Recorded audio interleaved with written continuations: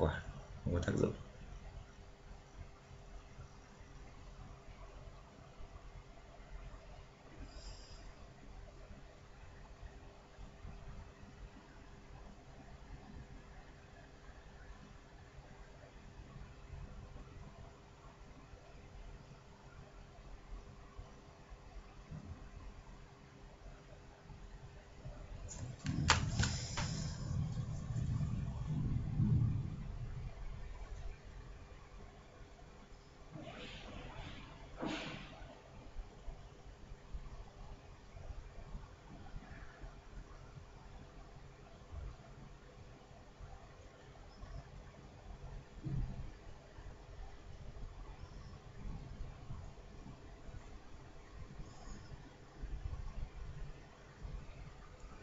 Divorce divorce.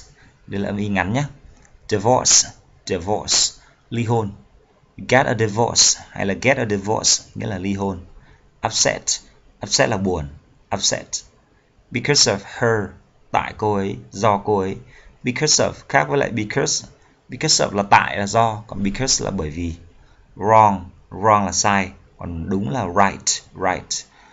As much as là nhiều như as as là nhiều, là là như, còn much là nhiều. As has, sorry, as much as là nhiều như. Marriages, marriage, số nhiều là marriages. Marriage, marriages, có nghĩa là hôn nhân. Hay chúng ta hay hiểu nôm na là đám cưới đấy. Thực ra đám cưới là wedding cơ. Nhưng mà trong cái tiếng Việt dễ hiểu thì người ta vẫn hiểu là như vậy. Còn dùng chính xác thì cái từ này nghĩa là hôn nhân, tức là hai người có một cái cuộc sống chung với nhau, đăng ký với pháp luật, thì như vậy gọi là hôn nhân. Thì số nhiều đọc là marriages marriages. Work out work out có nghĩa là có tác dụng, có kết quả. Đó. Thì đôi khi hôn nhân không không đi đến kết quả, không có kết quả, không có tác dụng. Really là thực sự thôi. Really really thực sự. Fault fault fault fault, có nghĩa là lỗi. Lỗi lỗi lầm. Cái từ này nó hơi khó đọc một chút nha, nhiều bạn không biết đọc là font hay là for, nó nửa o, nửa on. Tôi cũng không biết giải thích thế nào, nó là fault fault. Các bạn cố gắng bắt chước thôi. Stay together, sống cùng nhau. Stay together stay together, sống cùng nhau, ở cùng nhau. For a lifetime, for a lifetime, có nghĩa là trong suốt cuộc đời thôi lifetime cũng là cuộc đời thôi. Change change change thay đổi thay đổi. Get older get older trở nên già hơn già đi.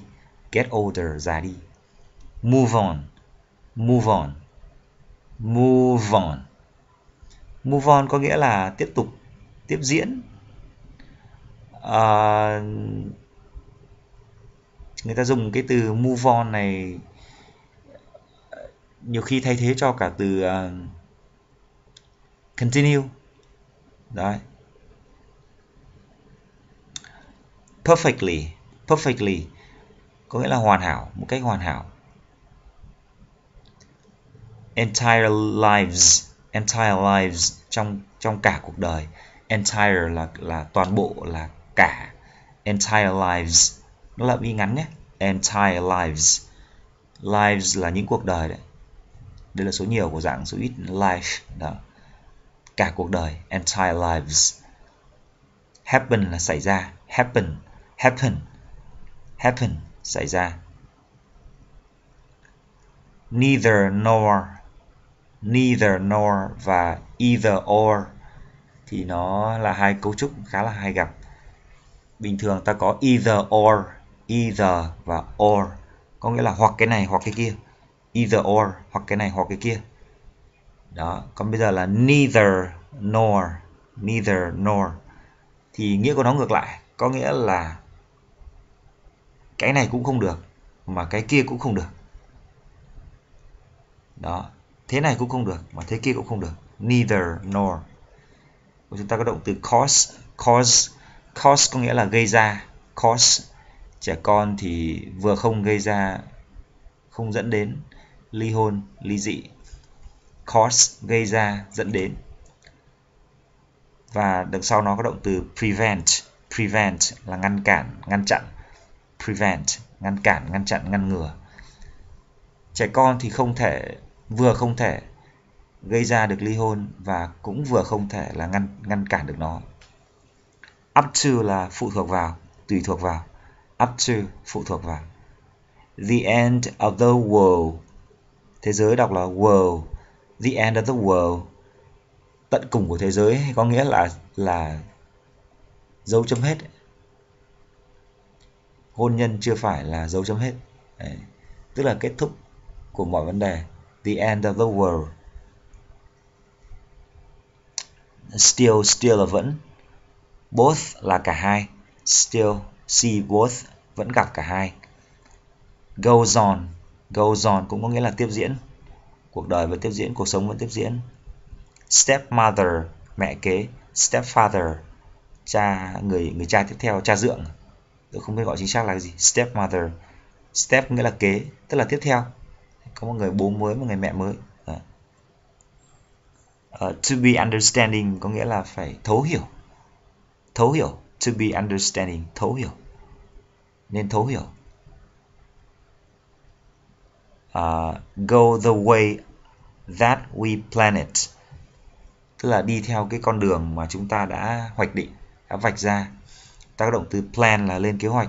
Plan vạch ra một kế hoạch nào đấy. The way là cái con đường theo cái cách theo con đường. À, cuộc đời thì nó không đi theo cái cách mà chúng ta đã đã vạch ra đã lên kế hoạch cho nó. Go the way that we plan it. Twists and turns. À, uh, twists and turns có nghĩa là có lúc thăng trầm. Có lúc thăng trầm. Có lúc thăng trầm có nghĩa là có lúc này có lúc nọ có lúc vui có lúc buồn có lúc hạnh phúc có lúc uh, đau khổ. Đấy, gọi là có lúc thăng trầm. Twist và turn đều có nghĩa là cái chỗ rẽ chỗ ngoặt chỗ quanh co đấy, đấy. twist and turns có nghĩa là có lúc thăng trầm. Adventure có nghĩa là cuộc phiêu lưu adventure adventure. Uh, hard time hard time có nghĩa là khoảng thời gian khó khăn. Hard là khó khăn. A way of working themselves out in the end.